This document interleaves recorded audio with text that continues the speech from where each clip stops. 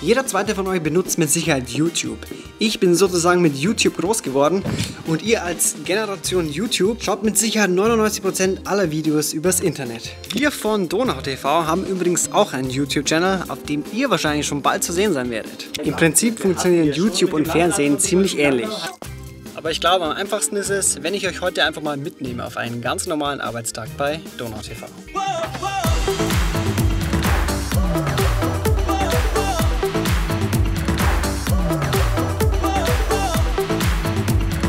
Bei Donau TV gibt es Redakteure und Mediengestalter für Bild und Ton. Im Prinzip macht bei uns aber jeder alles. Alex und Manuel drehen heute in einer Bäckerei.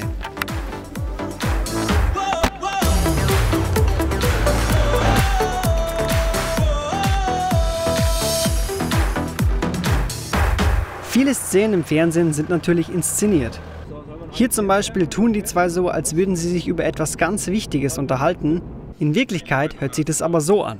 Also krass, krass finde ich ja, dass es äh, morgen und übermorgen bis zu minus 15 Grad geben soll. Das wird lustig. Oft hat man im Fernsehen eine gewisse Zeitvorgabe, wie lang der Beitrag werden soll. Und um ein bisschen Zeit zu schinden, kommt jetzt noch mal ein wenig Musik.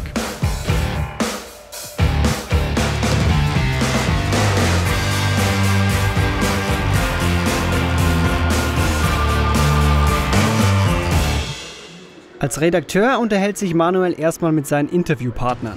Das hilft den meisten, ein bisschen lockerer zu werden. Sie wärmen sich sozusagen für das Interview auf.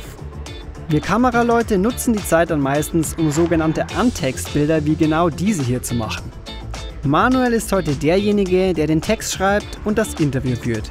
Meist überlegt er sich schon im Vorhinein, wie der Beitrag am Ende aussehen soll. In gewisser Art ist ein Redakteur also wie ein Regisseur bei einem Film. Wir an der Kamera versuchen dann die Idee des Redakteurs bildtechnisch möglichst schön umzusetzen. Die Kreativität eines Beitrags kommt also sowohl vom Kameramann als auch vom Redakteur. Die Art und Weise, wie man ein Bild gestaltet, ist sehr vielfältig und generell gibt es unendlich viele Möglichkeiten, einen Moment festzuhalten. Oft sind wir aber auch ganz alleine unterwegs und dann für den Text, die Interviewfragen und das Film zuständig. Wir arbeiten dann als sogenannte VJs, also Videojournalisten. Kleine Nebeninfo. Keine Ahnung warum, aber wir werden immer wieder gefragt, ob wir filmen oder Fotos machen. Mal im Ernst, sieht diese Kamera so aus, als würde sie nur Fotos machen? Wie bei einem Fotografen sind natürlich nicht alle Aufnahmen verwendbar. Manchmal wackelt es sehr, jemand läuft durchs Bild oder die Aufnahme ist unscharf. Auf einem Termin wie dem heute filmt Alex etwa 30 Minuten Rohmaterial. In den fertigen Beitrag schaffen es dann gerade mal 3 bis 4 Minuten. Und davon sind schon etwa zwei Minuten Teile aus dem Interview. Ach ja, das müssen wir ja auch noch machen.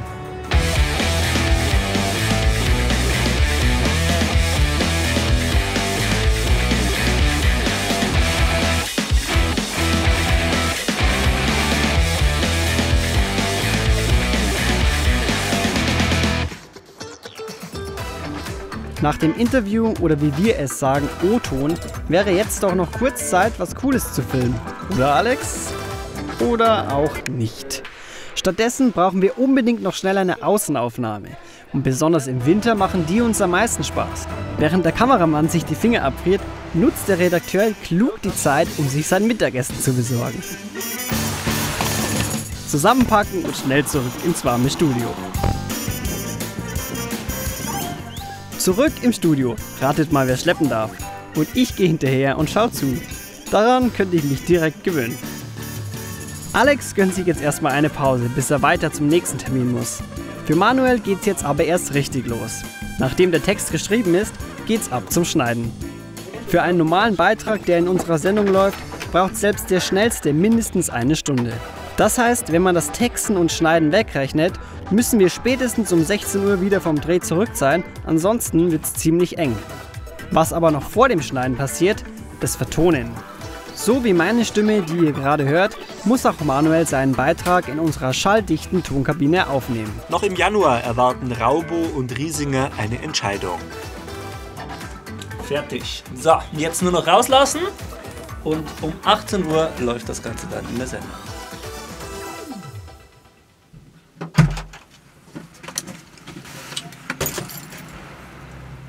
Und nicht vergessen, falls ihr es nicht schafft, unseren Beitrag zu sehen, dann schaut einfach mal bei YouTube vorbei, denn die meisten Beiträge werden da auch noch zusätzlich hochgeladen.